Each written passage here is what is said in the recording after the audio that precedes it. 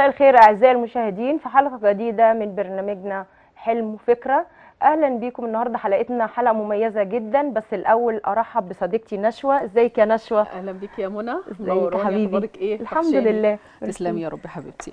آه هو فعلا آه النهارده عندنا فقرة مهمة ومميزة وتهم كتير من ال- الناس وهي هنتكلم فيها عن نظام الجمارك ال- النظام الجمارك الجديد. وبيسعدنا ويشرفنا يكون معانا النهارده في لمناقشة موضوع فقرتنا الأستاذة نرمين نجيب عبد السلام آه، رئيس شركة جولدن فينجرز freight للشحن والتخليص الجمركي. أهلا بيكي معانا يا أستاذة. نورتينا. وشرفتينا. النهارده في الاستوديو. الشرف ليا. أهلا وسهلا أهلا وسهلا. بيكي يا حبيبتي. أهلا وسهلا. علشان كده عارفين إن الاستيراد الاستيراد والتصدير يتشابهان من حيث الأنظمة والقوانين في غالبيه في غالبية دول العالم. يعني إنك لو درست الأنظمة الجمركية في بلدك تستطيع أن تعمل بها في أي دولة من دول العالم. انت سؤالك عن نظام الجمركي عموما بقى.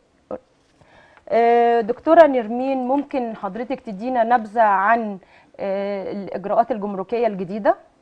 الأول آه، صباح الخير. وجمعة مباركة وبتوجه لكل الجمهور وعلى المسلمين جميعا يا رب يا رب الله. اللهم آمين وبتوجه لكل ال- الجمهور ولكل الناس بقول لهم آه، كل سنة وأنتم طيبين بمناسبة بداية السنة اللي داخلة علينا قربت وبتمنى يا رب تكون بالخير يا رب. على العالم رب. العربي كله وعلى مصر طبعا بالأخص.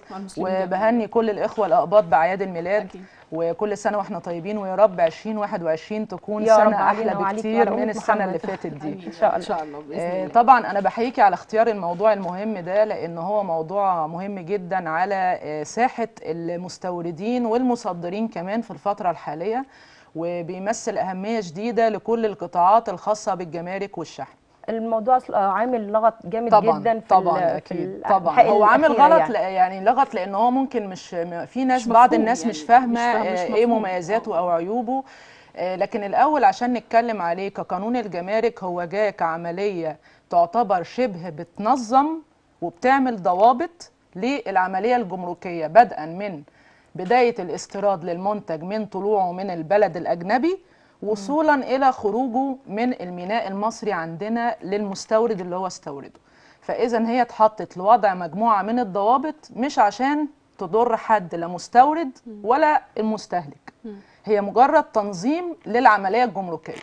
ده يعني مختصر كلمة قانون الجمارك الجديد إيه الم- اللي المفهوم هو بتاعه. المفهوم بتاعه أو اتعمل ليه. هو مجرد تنظيم للضوابط الجمركيه طب في فرق ما بين ال- آه، يعني القانون اللي هو الموجود حاليا واللي قبل كده؟ الفرق الوحيد اللي هو زعل الناس حاليا أو عمل مجموعة اللغط ده هو مجموعة الغرامات اللي الدولة طبقتها في حالة المخالفة.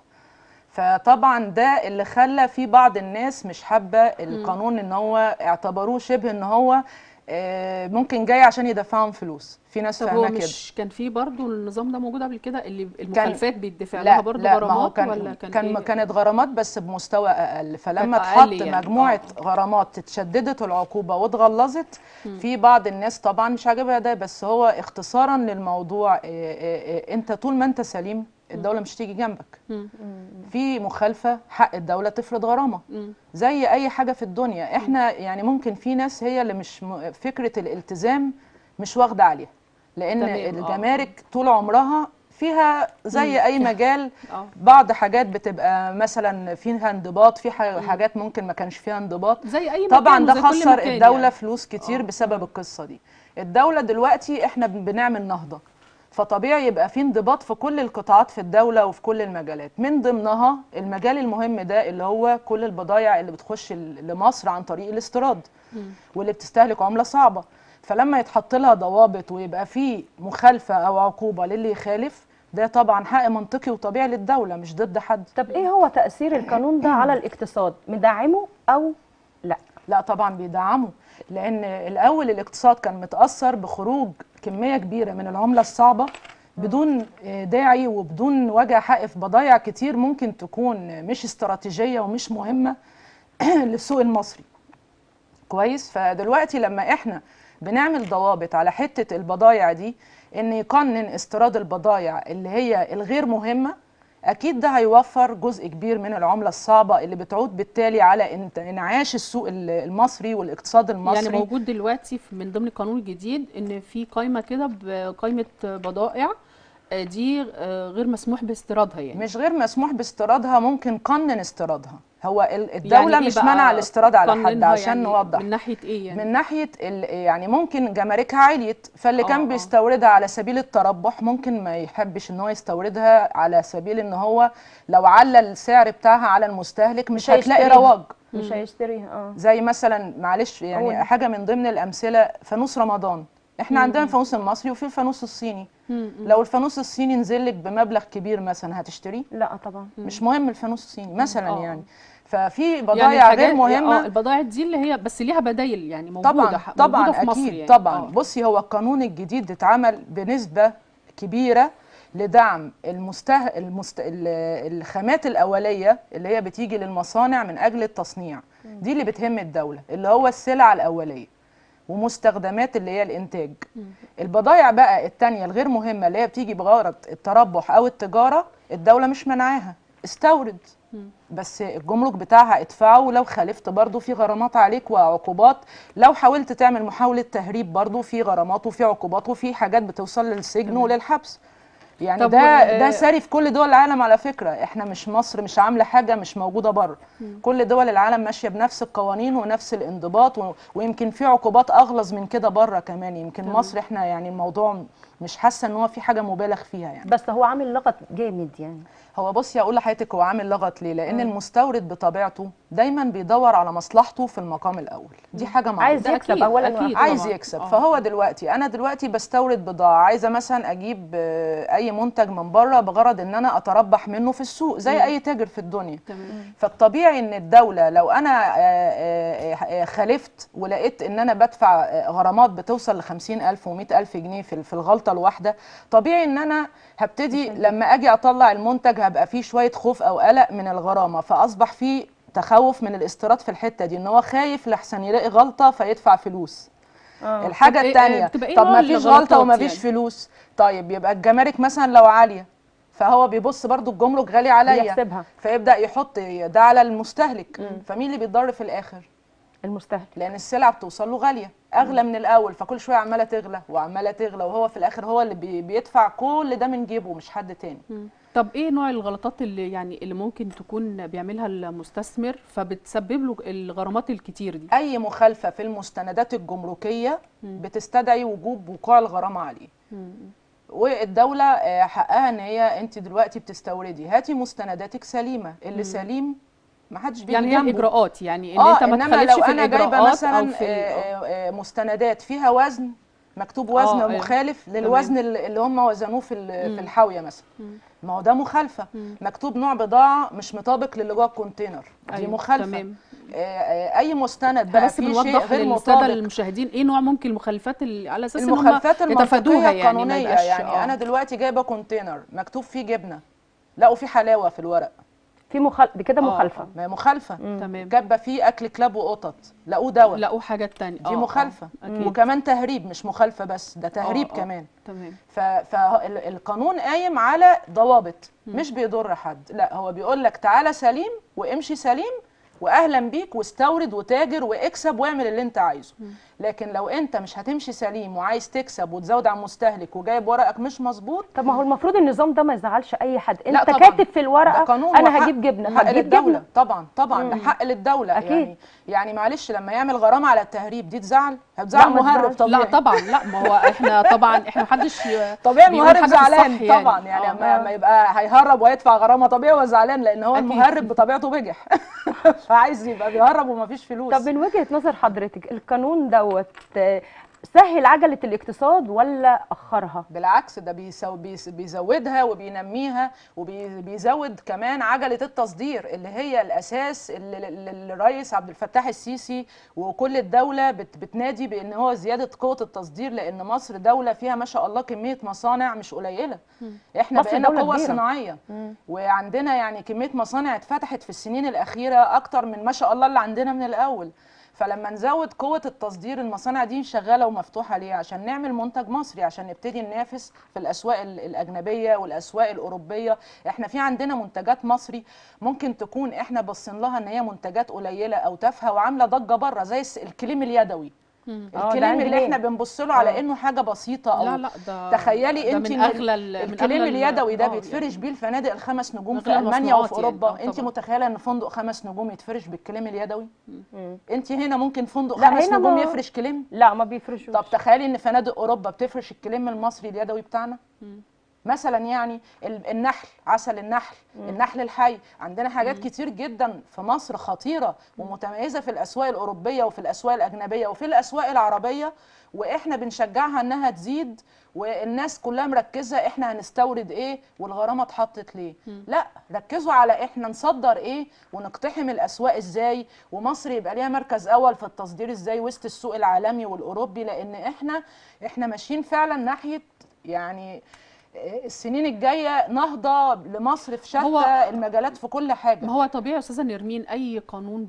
بيبقى جديد أو بي... بيجد على طبعاً. الناس أكيد طبيعي. بياخد وقته طبعا على ما الناس طبيعي. بتتعود عليه. وبتمشي طبيعي عليه طبعا وطبعا فمفيش بيعترض تجديد أو مفيش أصحاب تغيير بيجي. مرة واحدة يعني مش ماشي بس آه ما يعني أقصد- المستهلك آه، آه. معترض هو هو المستهلك- سواء الحاجة غالية سواء حاجة رخيصة هو مستهلك هو هو مستهلك ملوش علاقة لكن لما الدولة بس تحميه طبعا ده بيأثر أكيد طبعا المستهلك ده بيأثر. عليه برضو لأن أنا لو أنا مثلا كل اللي بيأ... يعني المستهلك بيتأثر بإن الحاجة لو غالية ما هي برضو عليه لو طبعاً، حاجة أقل طبعاً. تبقى طبعا عليه طبعا وعشان كده كل يمكن اللي يهمنا بتشجع المنتج يعني. المصري عشان كده أكيد طبعاً. إن هو المنتج المصري في كل الأحوال طالع من مصر فعمره. ما بيزيد حركة السعر بتاعته على المستهلك زي المنتج أكيد المستورد طبعا أكيد عشان كده دكتورة. نرمين إحنا النهارده آه، يعني تشرفنا بيكي عشان تلقي الله لنا يخليكي، الضوء الشرف ليا. ودلوقتي الصور بتاعت حضرتك هتنزل والشركة يعني إن شاء الله كده يا ي- حبيبتي، الله. يخليكي يا بالتوفيق دايما يا دكتور رب. أنا. متشرفة بيكم الله يخليكي، الله يخليكي. مهم ودايما أكيد طبعا أكيد أفضل إحنا وأكبر. إحنا دايما بنحاول يعني بنحب في البرنامج نناقش كل حاجة ممكن تهم ال- الناس في طبعا الشارع الشارع المصري آه، طبعا وبتأثر طبعا في في حياتهم وطبعا ده أكيد. أكيد, بيأثر في حياة الناس آه، ده لامس حتى كبير من حتى الدولة. طبعا أكيد المستهلكين اللي ما لهمش علاقة الصور برضه بالاستيراد نزلت على والتصدير الهوا.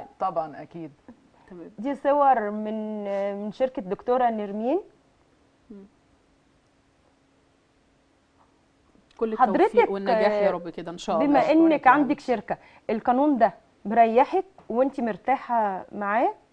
أنا بالنسبة لي طبعا القانون مريحني لأن أنا لما باجي عندي مستورد بيدخل شحنة مم. أنا براجع المستندات من قبل ما الشحنة توصل لمصر.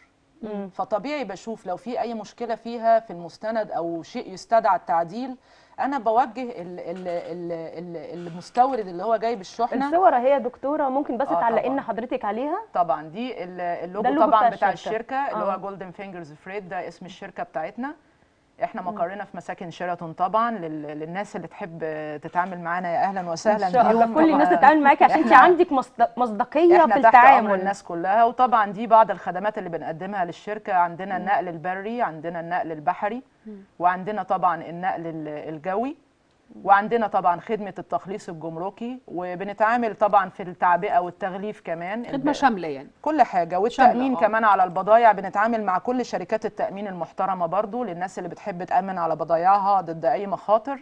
عندنا الاستيراد والتصدير لحساب الغير. لو حد مثلا ما عندوش ال- الرخص الاستيرادية أو التصدير بنقدر نوفر له ده. برضو. بتعملي. كل ده. بنوفر له بنستورد له ونصدر له برضو على على مستندات.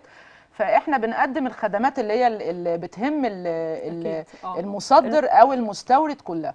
فطبعا ال- الشركات الشحن في ال- في السنين الأخيرة يعني كانت موضة اللي ملوش شغل. أي حد كان عنده مشكلة أو مش لاقي كان الموضوع سهل. كان الموضوع سهل آه. مكتب وهات ناس تشتغل مبيعات وكان آه. بيحصل مصايب بسبب ده في ناس للأسف كتير كانت بتضر ناس برضو وكان في ناس عندهاش خبرة ممكن تتسبب في مشاكل في عملية التخليص وعملية الشحن وفي المستندات نفسها آه يحصل طبعا غلطات لا طبعا. إحنا مع التقنين طبعا ال- كل واحد الخبرة الخبره في الشغل طبعا دي دي أمانة يعني بتبقى طيب، لأن أنت آه. في إيدك أمانة ال ال ال العميل نفسها دي آه. الشغل ده أمانة طبعاً، أي طبعاً. غلطة في مستند بتكلفه طبعا فلوس وممكن تكلفه خسائر آه. طيب أستاذة نرمين آه، طب إحنا عارفين طبعا كل قانون بيجد أو بيتحط في أي مكان بيبقى بيكون له المميزات بتاعته بيكون له عيوبه تمام فإحنا يعني تقريبا كده حضرتك يعني كلمتي. وقلنا يعني يعني بعض المميزات اللي ممكن تكون هي متميز بها المميزات القانون اللي هي الجديد توفير العملة الصعبة وإنعاش. السوق المصري طبعا طيب العيوب بقى. إيه بقى العيوب بقى إيه يعني أكيد طبعا كل حاجة في الدنيا لازم يكون فيها طبعا عيوب هي يعني. العيوب طيب. ممكن هي حتة الغرامات اللي هي المستورد بقى بيبص إن الدولة عايز تاخد من جيبه فلوس بأي طريقة من الطرق دايما بيحسبها كده وبيبص للقانون على إنه هو معمول مم. عشان كده. مم. فمش باصص لحتة الصالح العام قد ما هو باصص لمصلحته هو الخاصة إن لو أنا غلطت ما هو هيدفعوني فلوس. ففي ناس بتقول لك إيه شرطة القلم دلوقتي ب 50000 جنيه. فبيركز. هما- آه مركز آه. إن شرطة القلم هدفع 50 وممكن أدفع 100 مم. طب ما أنت ليه تتعرض نفسك لشرطة القلم أنت هات مستنداتك سليمة والسليم ما حدش بيجي جنبه دي طبعا هو حقيقه اللي بيمشي صح خلاص يعني العيب التاني برضو إن المخلص الجمركي برضو إن هو آه، آه، آه، التخليص دلوقتي في الدولة بقى ماشي بأغلب الوقت بشكل إلكتروني مم.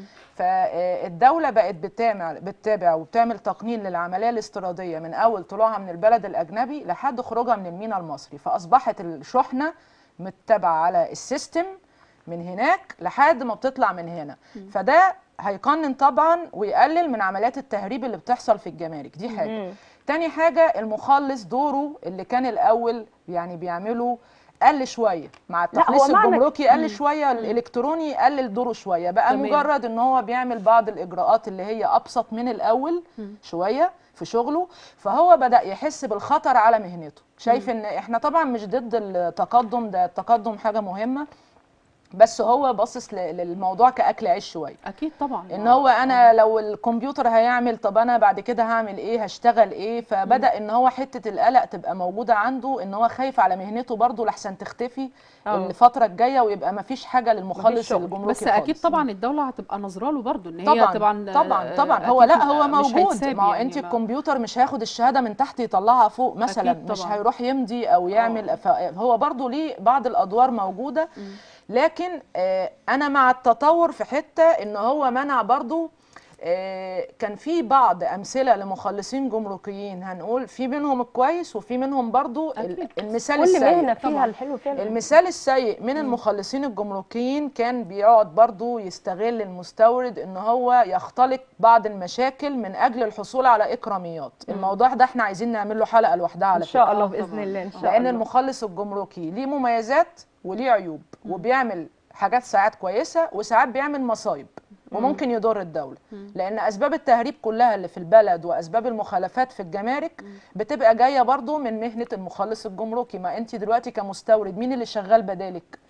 آه. المخلص, المخلص. هو اللي آه. بيتعامل بالإجراءات على الشحنة. يا يفيدك يا يضرك. يا يخلي سمعتك كويسة يا يدخلك السجن. حاجة من الاثنين فهو كأنه المحامي بتاعك. آه. المخلص ده زي المحامي بالظبط. طيب. ففي منهم طبعا المثال الكويس جدا ومخلصين أساميهم موجودة في السوق وناس محترمة جدا وفي منهم المثال اللي هو ممكن يكون بيسيء للمهنة برضو زي أي مهنة. أكيد. طب كل ده يعني مش هيأثر طيب على على المستثمر أو المستورد؟ آه، بح... إنه يعني أقصد إن هو زيادة برضو الغرامات وزيادة التعرفه الجمركية وكل ده مش هيخلي مثلا المستثمر أو المستورد يقول لأ أنا خلاص كده أنا كده ممكن أخسر أو إن أنا لأ أنا كده مش هقدر أكسب اللي أنا كنت بكسبه قبل كده. فده يقل حركة ال- الاستيراد برضو والتصدير شوية. والله هقول لحضرتك حاجة هو الدولة اللي عايزاه يقل كحركة استيراد البضائع الغير مهمة. الغير مهمة. آه. ودي لو قلت مش هتفرق مع الدولة في حاجة. لكن مستلزم الإنتاج عمر ما المصنع هيبطل يستورده. لأن عجلة المصنع والصناعة قايمة أصلا على مستلزم الإنتاج. فالمصنع مش هيقول أنا هبطل أجيب مستو... مستلزم إنتاج أبدا. أكيد. الخامات اللي بيشتغل بيها لازم هيجيبها. ودي الدولة مدياله فيها كل التسهيلات والإجراءات الجمركية ومدياله كمان ليميت لأن هو يعمل حتة التصنيع وبعد كده يعمل التصدير بعد التصنيع. مم. فالدولة بتبقى متابعة المستلزم من أول وصوله لحد دايرة تصنيعه وإعادة تصديره. فالعملية بتبقى واضحة فما فيش فيها حاجة تخوف المستورد لل- للمستلزم. طب دكتورة نرمين لو سمحتي عايزاكي توجهي كلمة هتوجهيها لمين؟ حضرتك يعني. طبعا أحب أوجه كلمة أهم حد أحب أوجه له آه. كلمة هو آه، آه، أبونا كلنا والمثل الأعلى لينا كلنا سيادة الرئيس عبد الفتاح السيسي اللي أنا بقول له وبوجه له رسالة من مكاني بقول له كل سنة وأنت طيب وأنت فعلا فخر لمصر والمصريين. وبشكرك أنا أنا وأنا جاية بأمانة أنا جاية لك من مصر الجديدة لمدينة الإنتاج الإعلامي والله أنا خدت ساعة. دي معجزة لوحدها. فأنا بحييه على الطرق والمجهود اللي اتعمل في في الطرق والكباري في جمهورية مصر العربية في خلال الفترة الصغيرة دي. فعلا الدنيا اتغيرت. وأحب أقول له إن أنا من مكاني ك ك كحد في السوق المصري و- وصاحبة شركة بتمنى وبحلم طبعا في يوم من الأيام إن أنا أتشرف بمقابلته. وبرضه بوجه تحية للسيدة اللي هي مثال وفخر للمرأة المصرية السيدة انتصار السيسي. لأن طبعاً. طبعا هي داعمة. للمرأة المصرية طبعا. بتدعم الثقافة وبتدعم الفنون وبتدعم سيدات الأعمال وبتدعم حقوق المرأة. يعني أنت لو تلاحظي حتى القوانين اللي هي بتاعت المرأة بدأت تتغير بدأت الست هي أغلبيتها اتغيرت. أغلبيتها اتغيرت ال- الأحوال الشخصية اتغيرت. هي بتدعم كمان ما شاء الله الثقافة بتدعم الفن الراقي بتدعم الفن الهادف. فأنا بحييهم من مكاني وبقول لهم إحنا فعلا بنفتخر بيكم وفعلا المصري أصبح ليه كرامه وأصبح ليه آه، آه، آه، الفترة الأخيرة موقع وسط ال- ال- الدول العربية مختلف عن كل السنين ما اللي حضرتك فاتت. حاسة كمان بالفرق إن انت حضرتك بتسافري كمان بره فحسيتي بالفرق دوت وعشان كده وجهتي كلمة لسيادة الرئيس. طبعا طبعا. وحتى الأجانب أو العرب اللي بيجوا من بره بقوا بيبصوا لمصر والتعامل مع المصريين بشكل مختلف عن كل السنين اللي فاتت. ده حقيقة. طيب ب- كبقى كسيدة أعمال كصاحبة شركة شحن إحنا هنا من خلال برنامج حلم وفكرة انت بقى حلمك إيه؟ انت عملتي فكرتك يعني انت نفذتي. وحققتي أنا فكرتك طبعا لسه بحبو في السوق آه يعني. اللي هي آه ماشي طبعا ربنا يعني بالتوفيق يا رب إن شاء الله كده يعني. وعلى فكرة. كل حلم صغير طبعا كل حلم طبعاً، أكيد أو طبعاً كل أكيد. هدف بيبتدي بحلم صغير وبعد كده بيكبر طبعا أكيد. و- ومع الوقت كده. المهم إن إحنا نحافظ عليه طبعا طبعاً و- أكيد. وعلى الهدف اللي إحنا وصلنا له يعني طبعا انت بقى حلمك إيه للي جاي والله أنا حلمي إن أنا أكون عندي آه، آه، آه، موقع كبير في السوق المصري. طبعا ده حلمي زي أي حلم صاحب شركة. بإذن الله. أتمنى يكون في يوم من الأيام عندي فروع لل- للشركة مش فرع واحد. تمام. أتمنى أوصل يبقى عندي فروع بره مصر يعني نبقى شركة multinational يعني إحنا دلوقتي عندنا وكلاء بره مصر في كل الدول. أتمنى بقى يبقى ال branches بتاعت الشركة الفروع لينا بتاعت. جولدن فينجرز هي اللي بره وطبعا إن إحنا يبقى في آه، توسع في التعاملات الدولية مع كافة ال- ال- القطاعات إن إحنا نصدر. إحنا بنحلم بنبتدي إن شاء الله بنفكر في منتجات إن إحنا بعد كده نبدأ نصدر.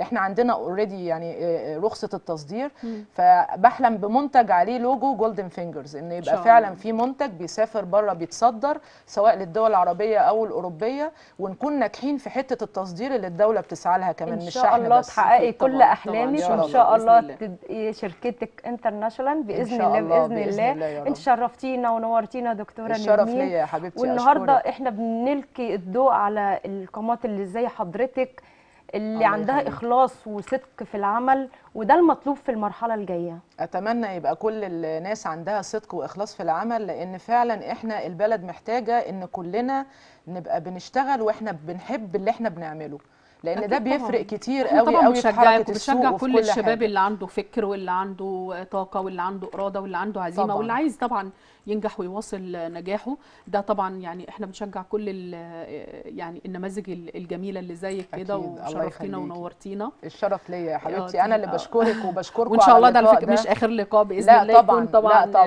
معانا أوعدكم- لقاءات كتير بحلقه إن متجددة شاء الله فعلا لازم نناقش فيها موضوعات لأن مهمة طبعا أكيد في حاجات كتير. آه حاجات كتير ممكن أو نق- نقط كتير ممكن تهم ال- الناس أو أكيد. الناس في الشارع مش شرط بس المستورد أو المصدر لكن طبعاً. برضو أكيد بتأثر على حياه حتى الناس البسيطة في الشارع أكيد أكيد طبعا. آه طيب آه خلاص كده شرفتينا ونورتينا آه النهارده واستمتعنا بجد وفعلا آه كانت معلومات مهمة وقيمة جدا إحنا نفسنا استفدنا منها يعني أنا أكتر ومستمتعه بلقائكم وبشكر كل الناس اللي استحملت تسمع جمارك وهي ملهاش في الجمرك أنت نورتينا يا دكتور يعني موضوع مهم وبيهم نتمنى كل نكون الناس حتى يعني. بن بنعلم الناس اللي هي آه. البسيطة اللي, اللي مش عارفة فكرة عن الجمارك والتخليص والشحن. وكده إحنا بنسعد برضو إن إحنا نفيد الناس. بمعلومة طبعا يعني طبعاً. حتى المعلومة للمواطن البسيط بتبقى مهمة إنه يتعلم حاجة من خلالنا. ربنا يجعلنا يعني من الناس اللي بتقدر تعلم الله. الناس بإذن الله دايما الله. كده يا رب بإذن إن شاء الله. الله يا رب. آه، أعزائي المشاهدين وصلنا لنهاية فقرتنا وبنتمنى تكون الفقرة عجبتكم وقدرنا نقدم لكم معلومات مهمة وقيمة آه، تنفعكم وتستفيدوا منها. آه، في حياتكم حتى الناس البسيطة اللي في الشارع. انتظرونا بعد الفاصل مع فقرة مهمة جدا ومتميزة جدا مع آه، آه، مع نهلة آه، وإيمان والدكتور شيماء الخليلي سلام.